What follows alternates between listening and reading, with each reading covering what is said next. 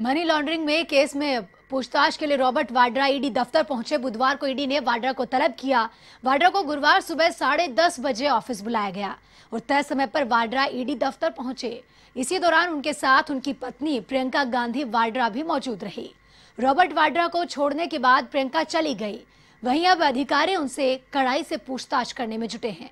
आपको बता दें कि ईडी की टीम रॉबर्ट वाड्रा से लंदन की प्रॉपर्टी और साथ ही उनके करीबी संजय भंडारी के बारे में सवाल कर सकती है।